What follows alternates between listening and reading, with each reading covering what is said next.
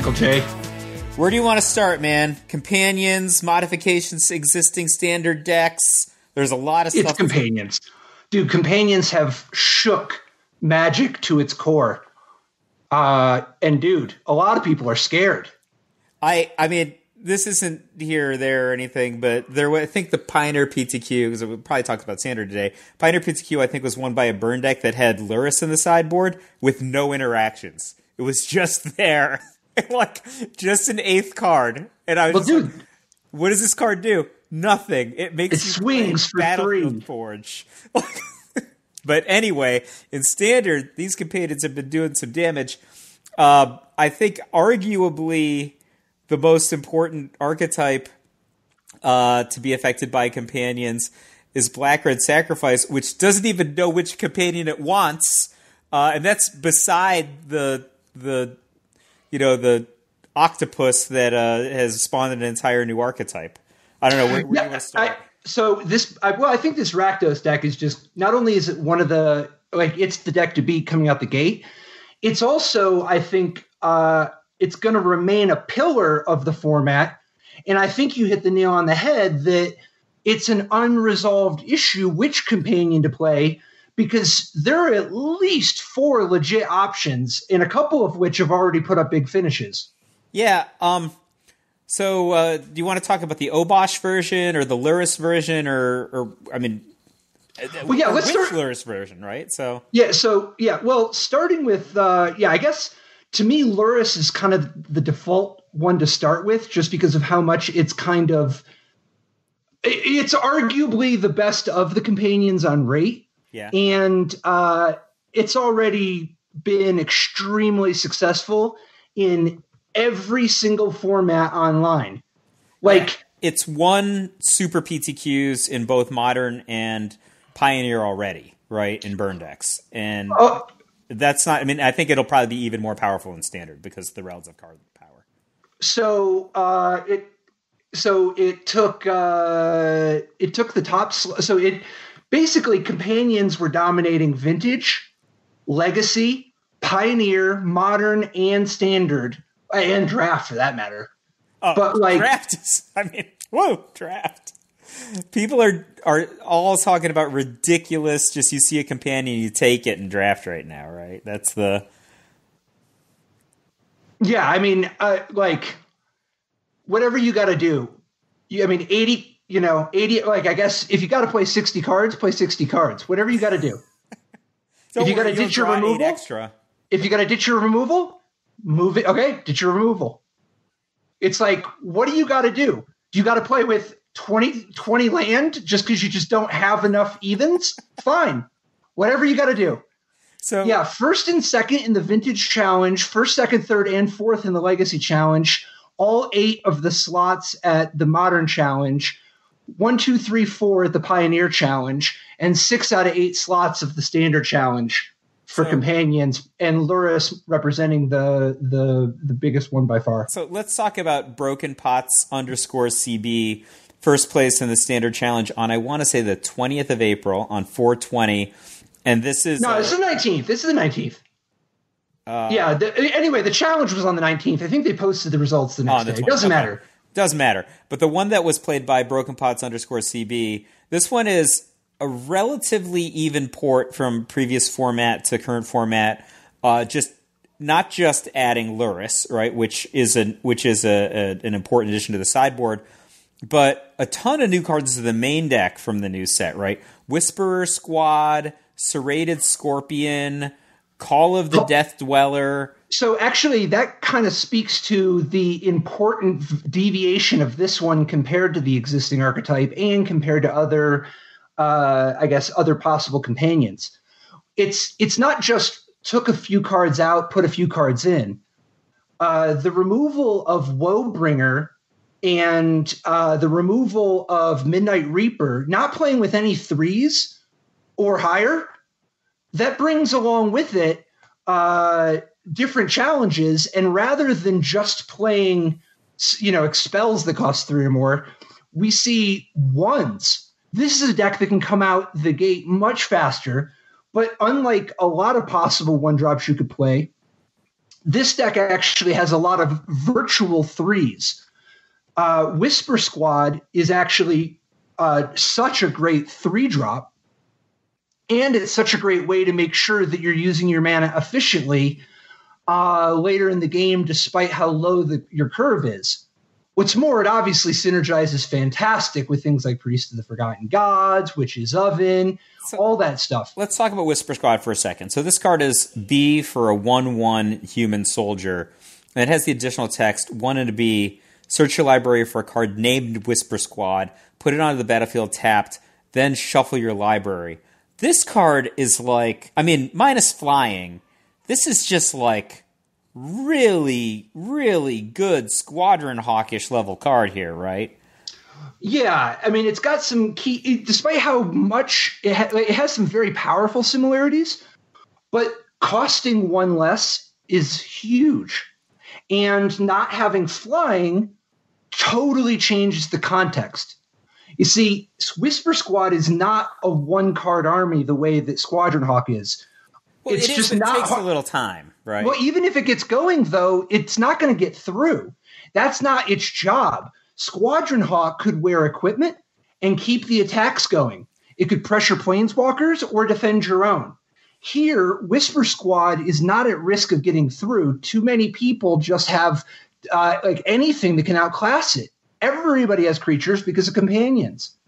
Whisper Squad here uh, gives you a ton of sacrifice fodder, and uh, it's it's it's super synergistic and it's just a very efficient card. So here's the thing about Whisper Squad: you can play it on turn one because it costs one. You can just do nothing on turn two, right, and activate the Whisper Squad's ability if you have one from turn one to turn two and that puts it directly into play, right? So that's that's very powerful. It doesn't just put it into your hand, right? And like you said, it's a it's a good three drop, right? So kind of two cards for three mana straight on turn three. What that could be gumming up the battlefield, or could be priest forgotten uh, gods fodder. Like you said, that's not a bad deal on three. So here's another little move. You can activate this ability at instant speed like even though it puts the the block you know the the creature on the battlefield tapped so you can't surprise block with it or anything when you ship the turn to your opponent let's say you have one whisper squad in hand and one on the battlefield you don't have to commit the other two whisper squads from your deck. You can wait to see if your opponent sweeps the board or not. Normally with squadron hawk you just play out three of the hawks or whatever they'd sweep the board and you'd have one left over right? But here, you can actually just commit one Whisper Squad to the table, leave your mana open, and then go get two more on the end step and ensure that you get a big hit, unless they kill the one Whisper Squad, and then you just drop the other one and keep going. Sure. Uh, that's actually a great point. If you've got like, you know, a ton of mana in play and you top deck a Whisper Squad, you just play it. You can I don't know, leave up mana for your Castle Locthwain or whatever you want to do, depending on, on what your battlefield position is. But you could have an army if you're in top deck mode at the end of turn, right? The end of your opponent's turn. Totally. That's uh, good for a certain sideboard card that I am very happy to see in this strategy. Finally. Uh, the Shield Breaker? No. Oh, Robber no, of no, the Rich? No. no. Not for Rika's Libations. No. What about act of treason. no. Oh, it can't be the Mire's Grasp, could it? Oh, never mind. No, the reason I say is because to me, Mire's Grasp is that's a main deck card, and Broken Pots actually has one in the main deck as well. And part of that is that Mire's Grasp is just so beautiful with uh, with Lurrus. yeah, know? so good with Lurrus. So one of the other new cards in this deck, which I think is probably one of the most hilarious combos, and I think this is like how you know the Pioneer deck that won with Lurrus kind of did the same thing, is just Serrated Scorpion. Right? You just play Serrated Scorpion, which is a one-two for B, and it has the text: when Serrated Scorpion dies, it deals two damage to each opponent, and you gain two life. Like you just send the Serrated Scorpion, it deals one, or they block it and kill it, and it deals two, and you could just replay it with Lurrus um, or it's amazing fodder uh, with Priests of Forgotten Gods. And I think like the Pioneer verse is really like, I guess I'm just trucking with my Viashino Pyromancer because that deck literally did nothing else with Lurrus, and it took away the you know the super. I think they're calling it a, a super qualification now. Um, but it's it's nutty. What do you think about the serrated scorpion in this deck? Love it, love it in this deck, and I also uh, I like the card in both Pioneer and Modern. I think serrated scorpion is the real deal, and it's time for burn decks to come around to black. Part of that is the serrated scorpion, which is just as far as lava spikes go. I mean, this guy is the best Keldon Marauder ever.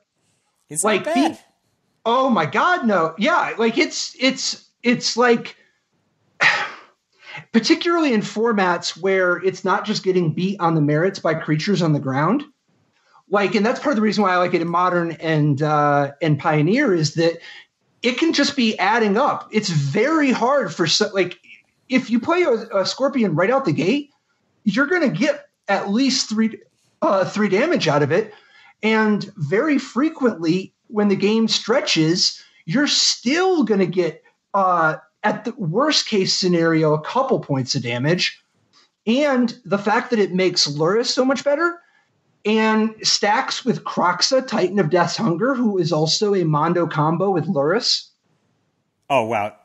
Kroxa is not just a Mondo combo with Lurrus, which it is, it, that's insane, right? So if you've got Lurrus, you can play Kroxa on the cheap and then you can kind of machine gun Kroxa, right? Because you're not actually forced to do all this stuff that Kroxa makes you do to come out of the graveyard uh, by his lonesome. Isn't it also a pretty good combination with Call of the Death Dweller, which is one of the one of the new cards in this strategy? Uh, not only is it a good combination with Call of the Death Dweller, it's a good combination with Whisper Squad because Whisper Squad gives you lots of actual pieces of material, unlike most token makers which you can use to exile to play Kroxa, even if you don't have any of the combos. So, but oh, this, go ahead. This deck's got a ton of one drops between Whisper Squad, Serrated Scorpion, Cauldron Familiar, and then it's got like a hasty two in Dreadhorde Butcher as well as Sideboard Robber of the Rich. But it seems to me that despite low casting cost and like you know an eight pack of haste attackers on two, this is kind of still like a kind of a positional, grindy, mid-rangey deck. Is that is that a wrong well, read? It's got it. Well, I wouldn't. It's. I don't think it's a mid-range deck, but it is got a lot of grind and a lot of staying power. As far as uh, fast aggressive decks go, it's not actually as fast and aggressive as you would as you would think a deck with 21 drops would be. But it uh, it's it's kind of like this perpetual slugging of you. It just keeps damaging you, and it all adds up, and it's extremely resilient. Uh, its biggest weaknesses, in my in my opinion, are people who go over the top of it. Oh yeah. Whether okay, same weaknesses previous format, right? Like you can have all the chip shot plus one interactions in the world. If they're just doing, you know, one point of damage or getting you like one card that is basically a, a one two for one or whatever, they're not going to add up to somebody who's slamming free dream trawlers or something like that, which some of the other decks are doing. Well, plus, I mean, Cauldron Familiar, uh, Cauldron Familiar with Witch's Oven, obviously that's a known issue, right? Unknown a source of uh, card advantage, grinding, and just general advantage over the course of the game. But also, Dread Horde, Horde Butcher is potentially a two for one. Kroxa is frequently a two for one. Priest of the Forgotten Gods can be a card advantage. Rix Maadi Reveler, a lot of grind, a lot of possibilities of being a two for one. Uh, I, Whisper Squad. I love Rix Maadi Reveler. I just realized on the cuts, there's no the three the three casting cost gnarled mask guy that tings you for every sack. Is he gone? Well, yeah, you can't play that because of Lurrus. Oh, wow. That's the key. You lose all the threes. Whatever combination of Mayhem Devil uh, the Midnight Reaper, Woebringer. It's not a trivial thing. It's just that Lurrus is so busted because it's like Lurrus is like comparable to all of those cards. It's like a stronger card than Mayhem Devil, but that's if you put in your deck. If you get it without having to put in your deck where you can count on it and you don't have to use a card on it, that's that is worth making some enormous sacrifices for. Yeah, and I think if you play Lurrus not as a three, like if you play it as like a four or a five, and you have like the opportunity, like even if you just did like a Rix Maadi Reveler for a discard or something, and then you're like Lurrus and then immediately get a rebuy, I think that you, I think that you're just you're just in a better spot than other cards are affording you, right? Even if some of them have have some different levels of staying power. I mean, Lurrus, if they don't kill it, Lurrus has better staying power than Mayhem Devil anyway, or by far. Like it's just an actual extra card instead of a point of damage with selection. It's not just a card; it's the best of all the cards in your graveyard. So, can we take a sec? Can we jump over to the the the standard challenge from 418? God of Slaughter's third place deck, which is also a sacrifice deck, which is like a radically different build. Even though it has Lurrus, it actually just has main deck Lurrus, right? And this one's going for Obosh in the in the sideboard as the companion instead. Tell me what, what do you think about this version versus the other one? Obviously, the the casting costs are in some ways far less restrictive, right? We've got Woe Strider. We've got, you got one. There's only there's only the only sacrifice really is that uh, so the big one is you don't get to play priest to the forgotten gods. Yep. And then the other notable one is Kroxa. but no but all the sick twos right? Like the other version we were looking at a second ago I, I don't know maybe it just kind of has to play those cards because it's restricted in in the height of the casting cost. But like yeah. I, I do think that you know there's something to be said for having you know eight hasty guys that are building advantages while smashing your face on turn two. Yeah, but at the end of the day, uh, Judith, Mayhem Devil, Midnight Reaper, Woe Strider. I mean, you'd rather play Woe Strider in your Cauldron Familiar Witch's Oven deck, you know? And uh, y- you are making trade offs here. I think Lurrus is a fair bit better than Obosh, but I do think that if everything else was if I got to play with Lurrus, uh, although I don't know, it's kind of nice to be able to play Lurrus when your deck's all ones and twos anyway. Yeah. The thing I really would do different with uh, this particular Obosh deck is that I don't think it has enough ones, and I realize it's got a lot of ones. you know, four Cauldron Familiar, three Gutter Bones, four Serrated Scorpion, four uh, I'm sorry, uh, four Witches Ovens. That's 15 cards you can play on turn one, 11 of which get the beats going right? But uh, there's several things missing. The first four are Whisper Squad.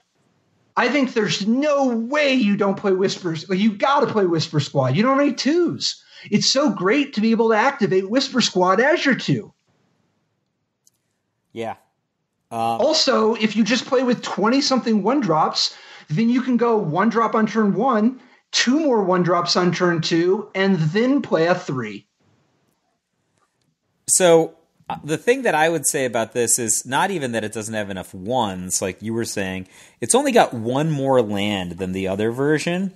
This deck has a lot of threes. Like, like, a, like a huge number of threes. It's got yeah two Judith, I, two Lurrus, four Mayhem Devil, four Midnight Reaper, and, and you don't even have the mana from Priest, and you don't have the mana yeah, from Priest. But that said, I think a deck that has God Eternal Bontu that knows it has an eighth card that costs five that's really powerful, it's like hard to put yourself in the position of both only having 24 land, but also uh, playing what is this 17 what is it 4 8 12 17 it's 17 three drops. I i don't hate only playing 24 i could imagine playing 23 I just think that in order to make that make sense, you got to play a lot more one drops instead of these three drops. Uh, I agree. I agree. Uh, dude, uh, what do you think of Drill Bit? I like it here. Yeah, I've never loved Drill Bit. Neither have I. I still don't love it. It's like barely okay.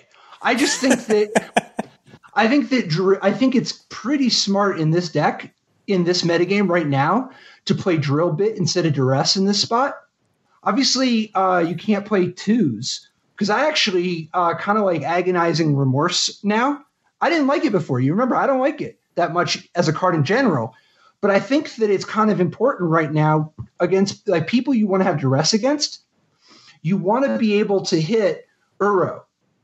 You want to be able to hit Dream Trawler. You know, and it's uh, I I think that uh, drill bit right now being so much more open than duress, it's uh, it's an important part of the equation. So you know what I like about this Obosh deck, even though I kind of hate the the number of The threes. threes. Man, Judith and Obosh on the battlefield at the same time. I feel like the game is going to end rapidly. Like that's dude. Come if you on, want team. a combo, so there's not the combo isn't here, but if you wanted, dude, you want a Mondo combo, put Call with Judith. I mean, uh, actually, it's not even the Call; it's the other one that does it. It doesn't matter. You still get an extra a lot of life, but you got to get you got to use the the the death touch in order to uh, to really get Judith going. But I mean, I don't know. To me, I think you could put them together. I mean, what do you think? Like if you use uh, call, and you could give menace to whichever of these creatures you want, but if you use call and yeah, you only get back one creature instead of two. But Judith is just incredible with Death Touch, right? oh yeah. Because then she's just killing whatever you want every time you sack something. It's really weird that that's a function of Judith when somebody else is doing the work, but yeah. That seems good to me. Could be. I mean, it's, I'll tell you what. I don't know if it's like good as a central plan, but I'm pretty sure No. that if it was something that I could do sometimes, I would love to take that option sometimes. Oh yeah, I think it's a minority. It's got to be kind of a niche move, but it's it's a nice one. It's a nice one to have access to in the two, you know, the two to ten percent where it matters. Yeah, I think that there was also a time when people were like, "Hey, you know it's a card that we play sometimes? Basilisk Collar. Hey, you know it's a card that we play sometimes? Whatever pinger happens to be legal, right? You know, like weird. Sometimes you put Basilisk Collar on the pinger, and then at some point in your life, you're just like, "All right, guys." Good thing we have Basilisk Collar. We can go get it with our Stoneforge Mystic to put on our pinger, right? Like, it might be one of those things where just like, you know, one day Tom Ross and LSV were sitting around. They're like, Ugh, I guess we have, you know, there's there's goblins to shoot sometimes. Yeah, let's just Dude. put a pinger. What if what if there's some kind of a deck that ends like a, a version of this plays that uh, the new uh, Golgari Golgari uh, kind of birthing pod Lurgoyf thing, Fiend Artisan? Yeah. Because remember, Fiend Artisan looks like it's a card for Golgari decks, but you can cast it with just black black. Yeah, I think that that's And- one of the things that all the companions are get, being a little deceptive on right now, right? So the big fat Simic one is is being played in a deck without green largely right now. And a Fiend Artisan being able to sacrifice a Cauldron Familiar and go get another Cauldron Familiar, or to sacrifice a Whisper Squad and go get the one off Judith so that your uh, combo can come together in the right matchup, like so much Stoneforge Mystic for Basilisk Collar. Not, not only is it not that restrictive, it costs two, so it's even. It costs two, so Lurrus can play with it. It has an activated ability, so Zirda can play with it. It's a creature, so in your all creature deck, Umori can play with it. It's a nightmare, so Kaheera can play with it. Uh, you know, you could even put it in an 80 card deck and it helps smooth things out, so Yorion could play with it. It's uh it's a Swiss Army knife among companion cards. But uh, I so anyway, I think it, it could be really cool to pull out that move. But there are a couple other companions that could be used in the uh, the Rakdos style deck, right? I think Lurrus is my current top pick, but if you're going to play, um, if you're going to play uh, Jagana, Jegantha, uh, the nice thing about Jegantha is that you don't have to make any sacrifices. Not really. I mean, you sort of do, but not really. Like you can still play pre. You can play all the one drops. You can play priest. You can play Kroxa. You can play. You can play any of these things you want. Like you're so barely limited it at all. A lot of these decks don't play anything that would violate it. The downside is that it doesn't really do anything for you. It's just a big dumb idiot. Well, it's also you know, whereas, five. Well, I mean, compared to Obosh, right? Yeah, but I mean, I feel like you play Obosh and then just swing with everything and the game ends, right? Like Obosh, Obosh is a lot stronger of an effect on the game on that turn, right? Yep. So Jegantha, I think, is is seeing play right now in like green white creature decks, right? Decks that actually appreciate having some sort of mana engine and also appreciate having a random 5 5. You know, like, I think that the Rakdos Sacrifice deck is just like a 5 5. That's way that's that's way too good for us. We win games with one twos and one ones. Get in there, right? It's like uh, I think that Jegantha is. I mean, I think you're right. Like, there's just nothing that you got to do uh, that is is difficult. I mean, you could even play like the Dreadhorde Butcher version or the Kroxa version. Those cards don't violate Jegantha's rules, uh, and you know you can buy back Kroxa kind of uh, with Jegantha, but uh, I just don't think it's it's just not exciting in the same way that Obosh is in that strategy.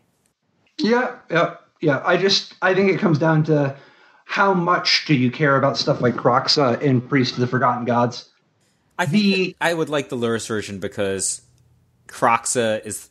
I'm in for Kroxa. That's the thing. So the Obosh version, we're not we're not we're not buddies on that one. Yeah, but he, okay. Then if you play the Lurrus version, uh, then you're giving up the threes. And so then compared to Jegantha, the question is, do you care about the priests of the Forgotten Gods and the Mayhem Devils and the uh, the Willbringers?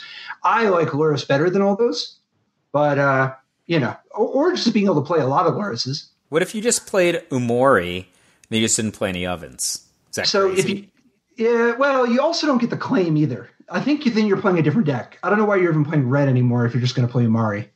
Okay, I buy it. Which is fine. I, I don't know that it's out of the question. There's actually I I think Umori is uh, being really underrated by people. Um, I think that's only, just because it's only the first week. like how many how many new strategies can there be? I guess ten. I like guess uh, 10. it hasn't shown up yet, but I think that uh, that we're going to see a powerful new tier one blue black flash deck. Uh, there was already a blue black flash deck that cracked one of these events. Oh, oh, oh, oh I missed that one. Is that just like the most recent one? I gotta find it. Give me a second. Yeah, dude, because dude, blue. I think blue black flash is the truth now, man. Um, yeah, because like we did is, see uh, Mo- Mono Blue put up eighth place in the standard challenge on 418. This is a deck right. I would play.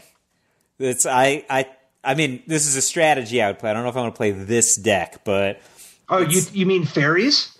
Uh, yeah. So it, it's I think it's got some edges that need to be sanded off, but uh, the Butter Merchant, eighth place on the standard challenge from 418. Yep. Three Brazen Borrower, four Brineborn Cutthroat, a Dirge Bat, your buddy the Dirge Bat that we we had some some uh, not sure about. Three Sea Dasher Octopus. I don't know how you play three Sea Dasher Octopus and one Dirge Bat. Uh, maybe that's an availability thing because uh, so early. Then four Slitherwisp, which is a powerful flash card.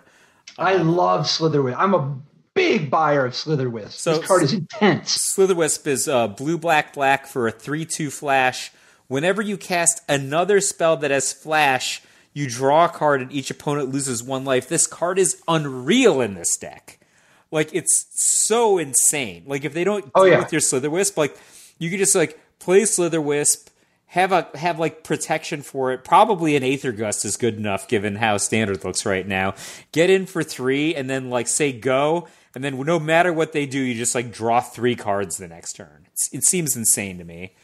Uh, Spectral Sailor, and then one Voracious Gear Shark or Great Shark. Sorry. So uh, I do like the Great Shark. Um, I, I like it even better with a different supporting cast a little bit though, because, at, dude, four quench, four neutralize, one mystical dispute. Why do you want all these medium counterspells and one mystical dispute? You just want Do you just want uh, offense and bounce? Is that what you're going for? Okay, so first of all, I want a fourth brazen borrower. Let's be serious. Oh, same. Also, how are there two Omen of the Sea and no? I guess It has flash. just Flash. Yeah, but I'm, I would cut them. No nope. opt. Nope. Uh, well, I, I'm not playing Opt either because I want to play uh, Umori. Like, I think that you got to play with a, a companion in a deck like this. And I don't know what which other companion are you wanting to play? Uh, what about uh, the one two fairy that when you draw two cards he gets a plus one plus one? I, I think that's a key missing card. Really? Okay, maybe. I, I don't know. I, I haven't tried that one yet. I could imagine it, but I was thinking. Uh, I, I've played First- a lot of that card and Brineborn Cutthroat in various standard decks, and I think the fairy tends to outperform the Cutthroat for two reasons. One, it actually has text against red aggro in the early turns of the game. If you're to play Brineborn Cutthroat, it just trades, right? Like see, I if you play I- that guy, I- you can eat a one uh, one toughness. see. I want to play 12 twos. You just play more. Yeah, because once you cut Quench and Heartless Act and Aether Gust, you gotta make room for. I mean, that's that's eight, and then two Omen of the Seas. If you're cutting 10 two drops, you're gonna need to add a lot of two drops. And the two drop, I want to keep the Cutthroat. I don't think it's the best two No, or anything. Cutthroat's wanna, good. I'm just saying the fairy's better. See, I want to play that uh, the the Dimir Dimir two two flash, uh, Cunning Nightbonder. It's uh, two two flash and spells with flash you cast cost one less and can't be countered. Uh, so I think that if now at first you're like, wait a minute, that doesn't make the you know like that doesn't make Slitherwith any cheaper, and it doesn't help with Spectral Sailor. Why even bother, right? But now here's here's what I'm saying. If you play with four copies of uh, the other shark, like The Shark Dude. Tornado? pouncing shore shark. So Pouncing Shoreshark is really good, right? Like it's a four three flash for five, which is not a good deal. but mutate three and a blue. Whenever this creature mutates, you may return target creature an opponent controls to its owner's hand. So, like, let's say that your opponent has a Teferi. You can just surprise upgrade your 1 1 I, I- you don't surprise like Flash. You just on your turn, you go. Yeah, yeah. Guess what? My guy has virtual haste. Here comes Hope Make- Strength. Got it. But you also just have this engine that lets you uh, continue to to put creatures back into your opponent's hand. Because if you're playing with a bunch, if you have like four Pouncing Shoresharks and four octopus, and then like uh, you can and maybe one dirge bat, you can actually really stack on top of those brazen borrowers for a lot of uh, keeping people off uh, creatures on the table and forcing them to play multiple voracious great sharks. So, Patrick, not for nothing, but the Butter Merchant did play multiple Cunning Nightbonder in their sideboard.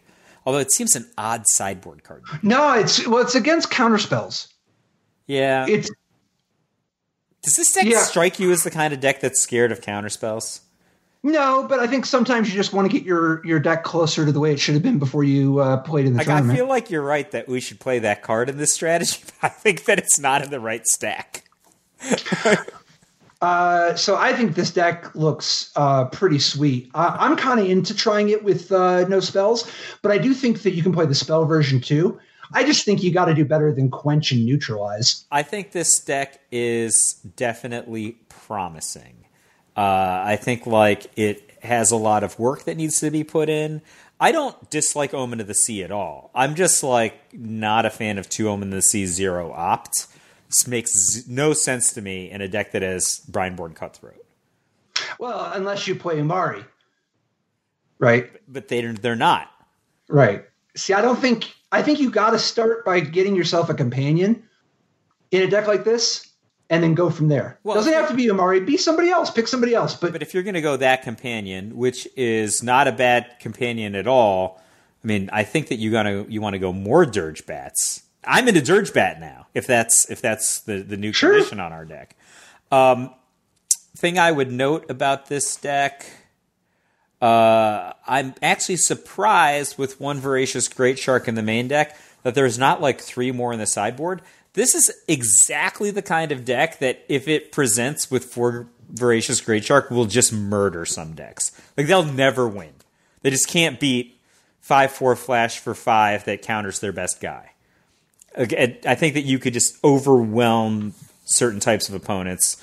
Would love to have seen more Voracious Great Sharks in the sideboard. No way I'm playing a ton in the main deck. It's too expensive. See, I I could play a couple in the main deck. I, I could see playing one. Maybe no, I don't know, man. Dude, I think I once once you have the uh, four copies of the uh, the Nightbonder, remember the Nightbonder does make your Great Shark cost less. I mean, that's very very good. Good pointing out on that one. One of the things that I think about the Great Shark that is probably in support of what you were saying a second ago is just that if a lot of other people are playing companions, they just have like a natural extra card, right? They have essentially an eighth card in their opening hand that's always a creature. Great Shark generates, you know, fundamentally generates card advantage against people who are playing with any creature. So as long as their creature can't be uh, can can be countered, then the Great Shark actually can neutralize their companion, which I think might be good. Oh yeah, yeah. I think that's that's a great way to put it too. Is the uh, knowing that they have that companion it changes the value of a card like the the Great Shark. Uh, man, so uh, outside of all these uh, these flash decks and uh, sacrifice decks, um, did you see the uh, the any of these blue red Rielle the Everwise decks? Uh, so like uh, seventh place, uh, yeah. So I'm a uh, a manatees in seventh place had a build with uh, three copies of Rielle the Everwise and four Sprite Dragons, and so this is like the update. You know the old like crackling Drake style of blue red. Yeah, that's this deck. Yeah, it's it's got Arclight Phoenix.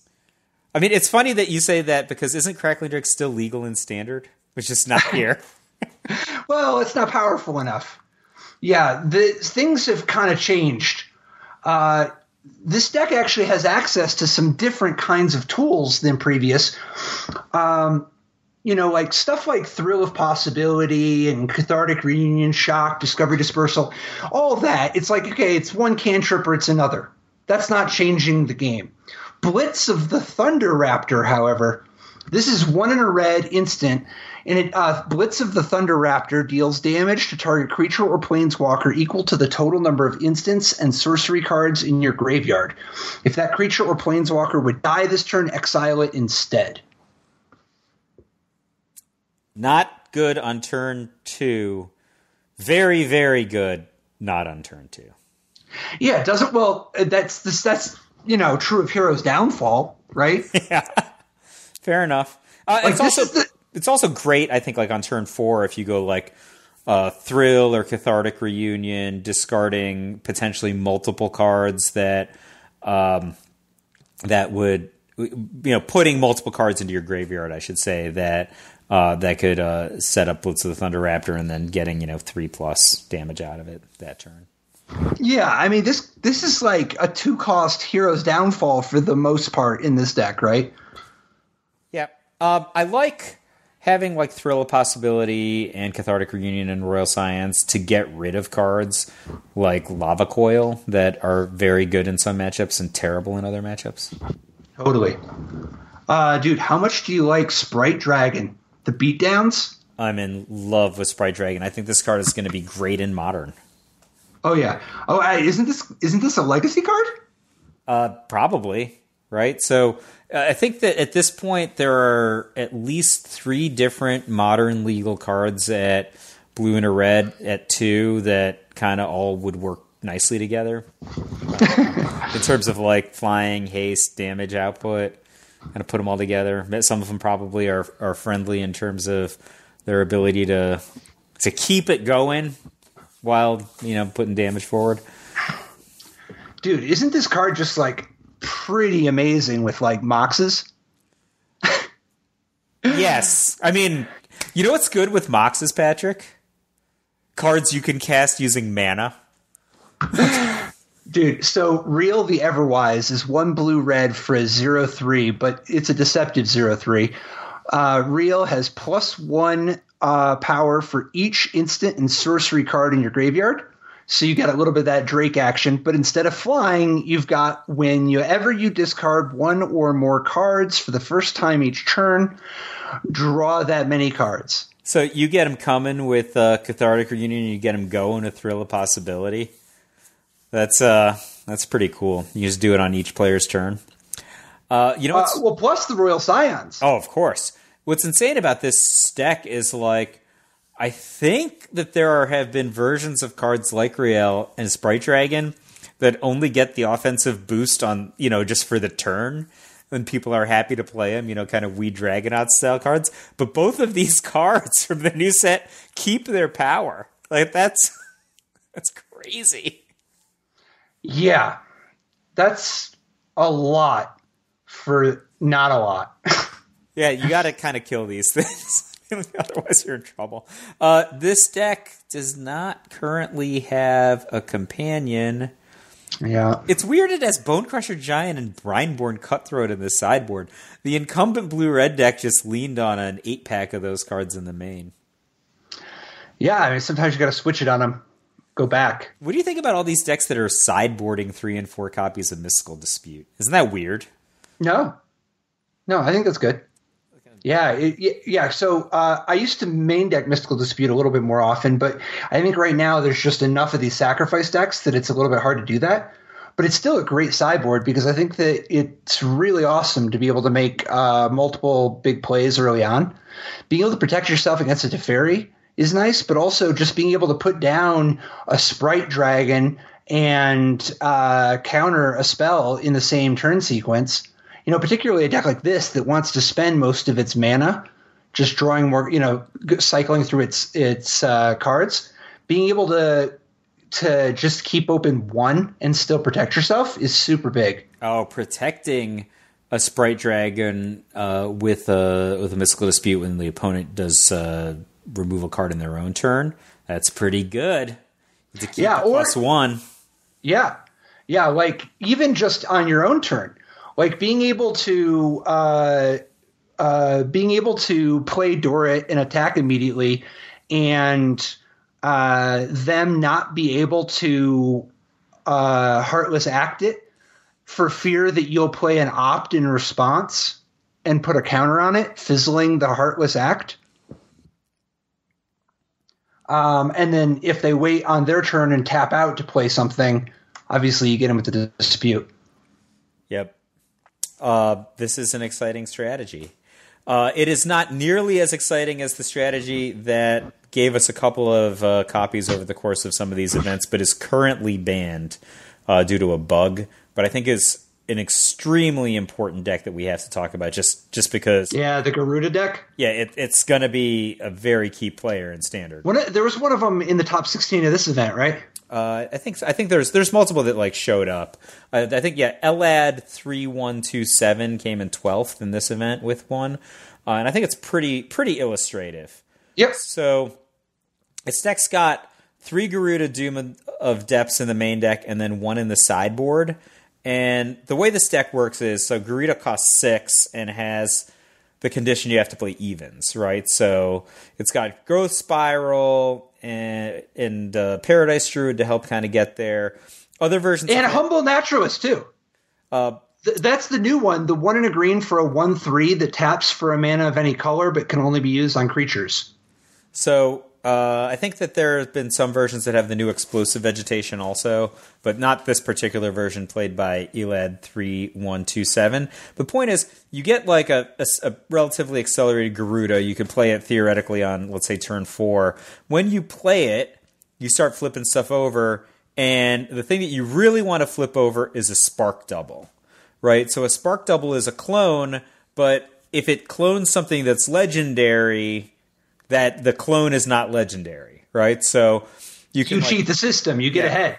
So but you like, still get the trigger. You still yep. get another Gyruda trigger. So you're just like Gyruda, spark double, flip again, you, you know, and then you could potentially get a charming prince. The sex got charming prince, and you don't have to do this very many times before there's a prohibitive amount of power in play on turn four. And remember, if you get a luminous broodmoth, uh, Luminous Broodmoth is an even that you can flip and put in play from your Gyruda, but you could also just have it in play already, so that when you play Gyruda and you flip another Gyruda, and it legend rules, the Gyruda, the legend rules will come back as a uh, flyer, but you'll get an extra trigger, and then you can actually then you actually legend rule the other one, and it'll come back as a flyer. So by playing a Gyruda while you have a Luminous Broodmoth, if you ever hit another Gyruda or something that can uh, like copy it, you're gonna get two extra triggers on top of the extra trigger it gives you. The only saving grace for standard right this second is that there's no Dragonlord Kolaghan in standard, right? So at least all these guys don't have haste. But I think that the presence of Luminous Broodmoth in this build is so powerful because even if the opponent has some kind of wrath to to even the board up, the Luminous Broodmoth will will defend your side of the battlefield. It's very strong. Extremely. So Yep. I I think I mean this is if there's going to be a spoiler deck to come out of the new set, this is the one. I mean, hyper consistent because the ability to play Gyruda out of your sideboard as a companion. Three more Gyrudas in the main deck. Every one of them is generating card advantage.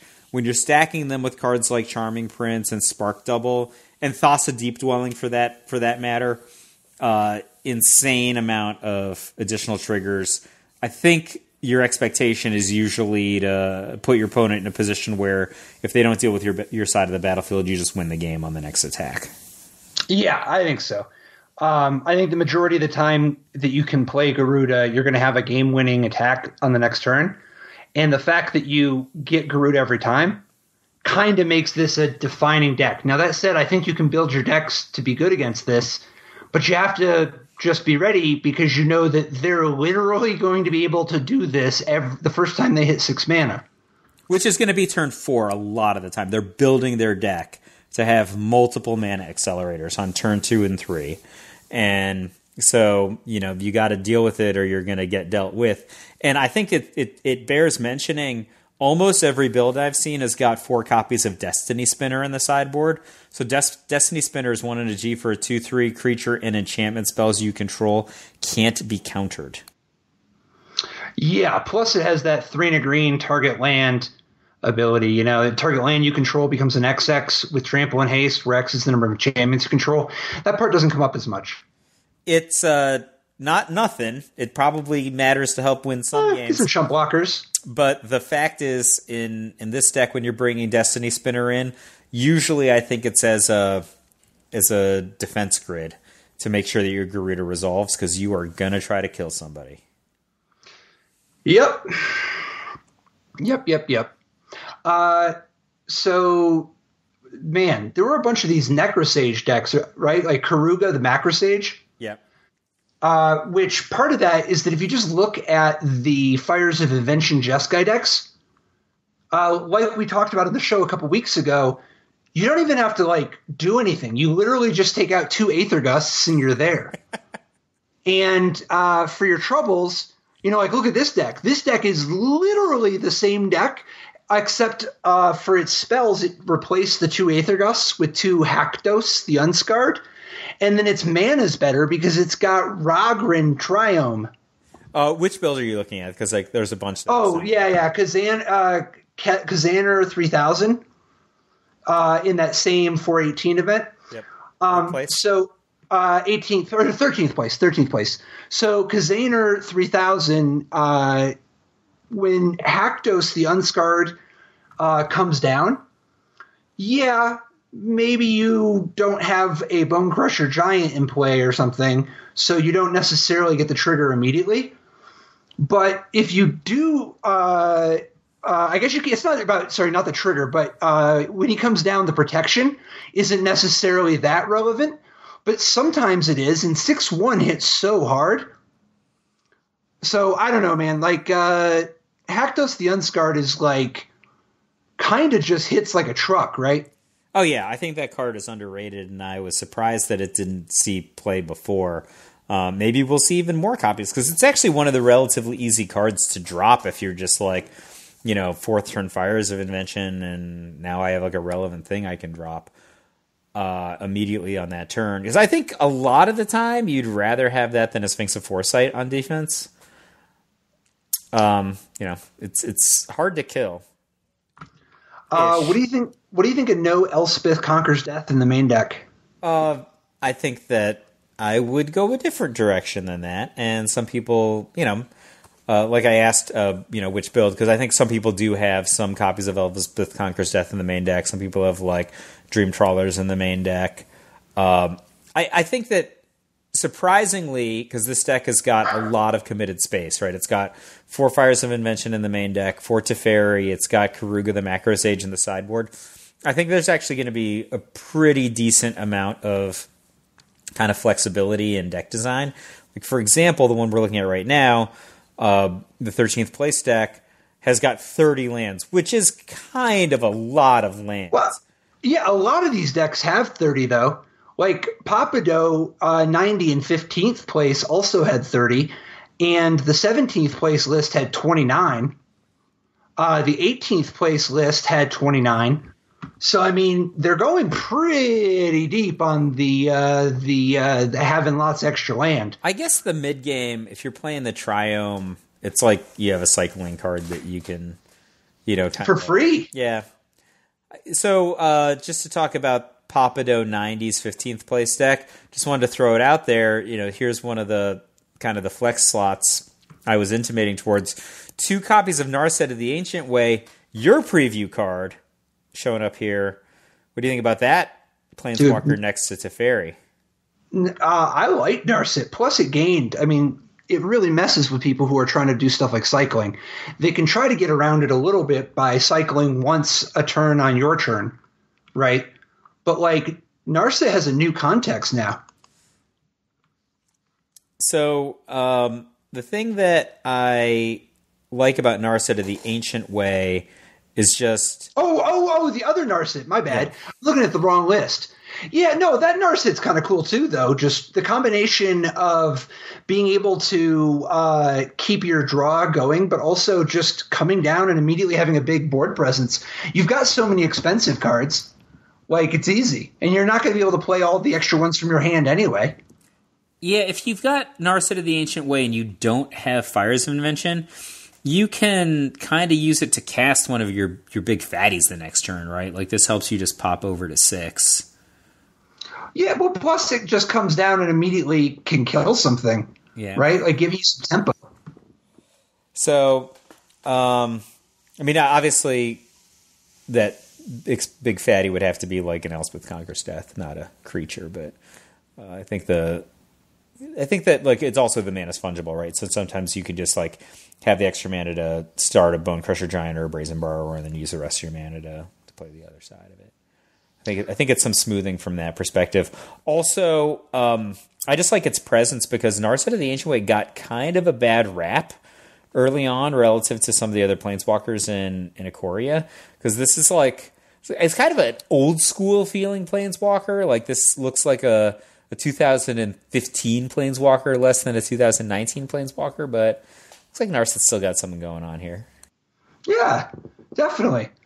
Uh, I'm, you know, I, I personally, I'm big, big, big into that, uh, into the new Green Planeswalker. Um, but I, I don't know if I saw any lists with uh, with the new uh, Vivien yet. It's, new it's, it's been like three days. There's gonna be there's gonna be awesome stuff with a lot of new cards. You know, I was really surprised uh, just what we've seen so far. I wasn't that surprised at how many companions were like making their way into the metagame and contributing to both new archetypes like Gyruda and existing archetypes like uh, Keruga or or Lurrus. But the thing I was surprised about was I just looking at the set. I didn't think it was going to be as influential as like the last two or three sets because I mean we're just coming off of Okos and we were coming off of yeah, a ton of stuff I, in the last set too. But Lurrus is going to be to vintage, like you said already. Like Rosewater had to clarify today that uh, that they can ban cards in vintage if it comes to that. like there are a lot of people concerned because you can't restrict it; it doesn't accomplish anything. You know, I mean, I guess they can make some special rule you can't play Lurrus in your sideboard, but like that's weird. Uh, there, there is another deck though. Um, God, where is it? The uh, in the twenty, the four twenty event uh, played on the nineteenth, but I think it's listed as four twenty. Uh, so thirty five land. Let me just start you off with that little bad boy there. You know, because there's only you know, as you might imagine, this is a Yorion deck. But I was going to say 35 land, but out of how many cards? So this 80 card deck with uh, four fires of invention also has Uro, Fae of Wishes, Arboreal Grazer, Growth Spiral, Elspeth Conquers Death, Omen of the Forge, Omen of the Sea, Shark Typhoon, Narset of the Ancient Way, Narset Parter of Veils, Tamiyo, Collector of Tales, and Teferi, along with 35 land. Uh, the biggest hit out of the sideboard, Ruinous Ultimatum, alongside Inspired Ultimatum. That way they don't know which way you're gonna go.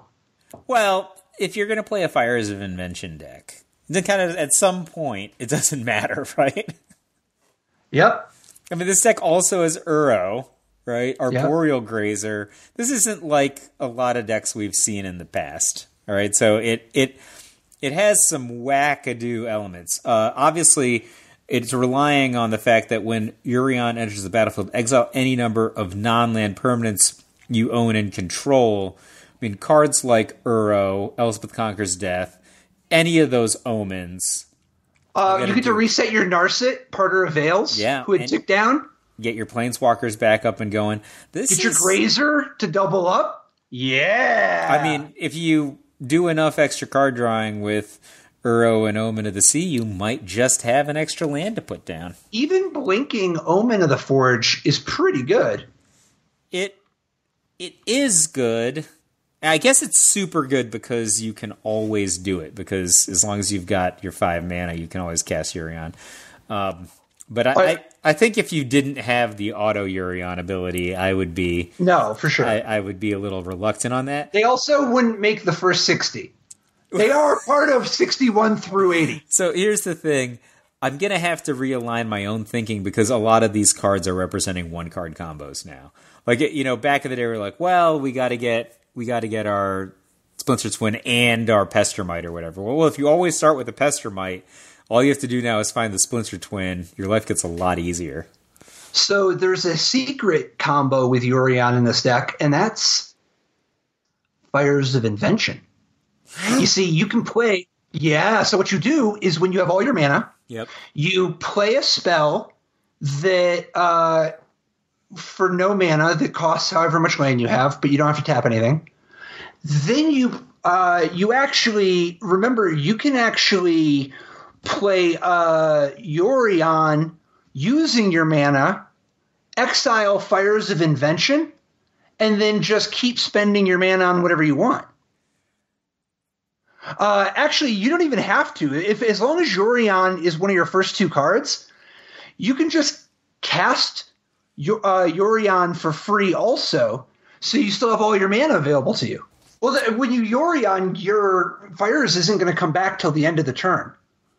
So you actually just have the turn to spend your mana however you want, cheating the one, you know, the two per turn limit. Yeah. Crazy. I like breaking the rules that way. That's that's sick.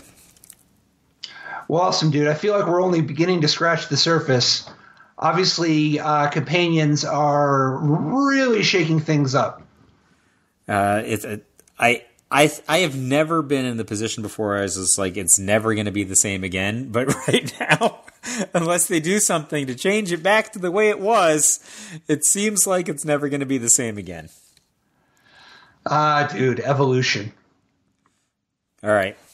All right. I'll see you next week. Change your die. See you next week.